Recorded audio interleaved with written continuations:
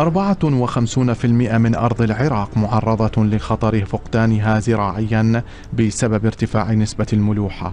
من هذه النسبة انطلق رئيس الجمهورية برهم صالح للتحذير من الخطر المقبل على بلاد الرافدين التي لم تعد كذلك بسبب انخفاض مستويات نهري دجلة والفرات نتيجة عدد من العوامل.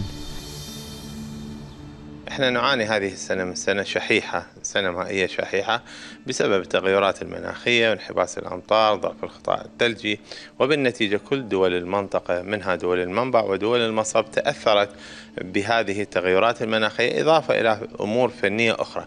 اليوم إيرادات العراق انخفضت بحدود 50% في نهري دجلة والفرات وبمعدلات أكبر حقيقة في إيرادات دوكان ودربندخان وكذلك آه، ديالة أيضا وسيروان. هذا الموضوع بالتأكيد اليوم آه، وزارة الموارد المائية الحكومة المركزية وزارة الخارجية آه، آه، في تواصل مستمر مع دول المنبع من أجل الاتفاق على تقاسم الضرر في فترات الشحة. سبعة ملايين عراقي تضرروا من الجفاف بسبب النزوح الاضطراري بحسب إحصائيات شبه رسمية. وبحلول عام 2050 يقدر خبراء التخطيط ارتفاع نسبة سكان العراق من 38 مليونا إلى 80 مليون نسمة.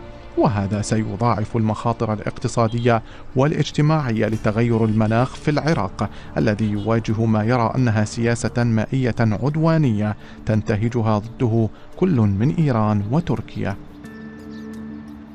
اليوم الحروب ما عادت حروب تقليدية وإنما عادت باتت حروب هجينة وحروب مركبة تستخدم فيها كل المفردات والعناوين ومنها المياه وباتت حروب المياه من أهم الأدوات التي تضغط فيها بها بعض القوى الإقليمية وخاصة المجاورة العراق مثل تركيا التي تتحكم بمصدري نهري دجلة والفرات وتحاول أن تحبس المياه أهداف اقتصادية لإنشاء محطات طاقة وغيرها وتستثمرها وتبتز العراق من خلالها عبر الضغط عليه سياسيا. بناء السدود على دجلة والفرات أدى لنقص متزايد في المياه الذي انعكس بشكل سلبي على الإنتاج الزراعي وتوفر المياه الصالحة للشرب.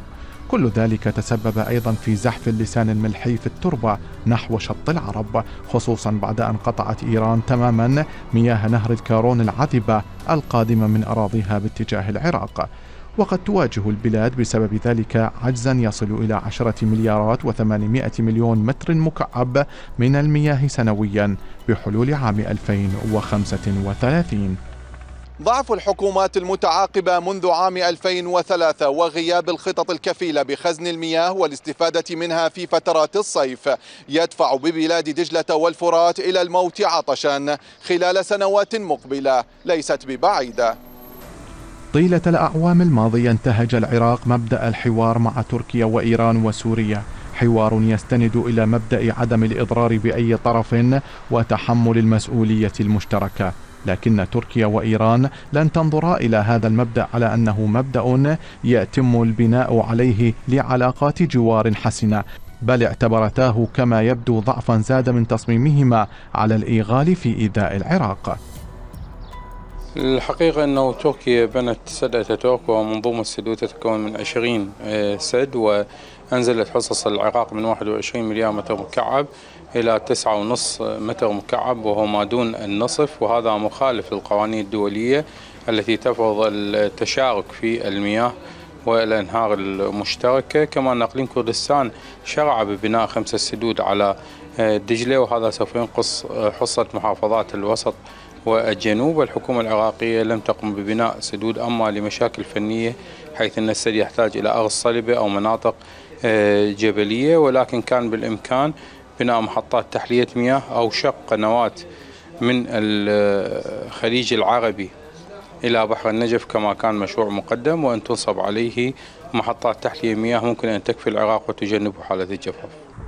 إيران من جهتها لم تكتفي بقطع الأنهار المشتركة التي تدخل الحدود العراقية بدءا من إقليم كردستان إلى شط العرب بل قامت باستخدام الأودية الجافة للتخلص من مياه البزل الزراعية المالحة والملوثة بالمبيدات مستفيدة من التركيب الجيولوجي لتربة المنطقة باتجاه الأراضي العراقية. وهذا ما تسبب في تلوث مياه وتربة الجزء الأكبر من منطقة الشريط الحدودي بين العراق وإيران وخاصة منطقة الأهوار العراقية.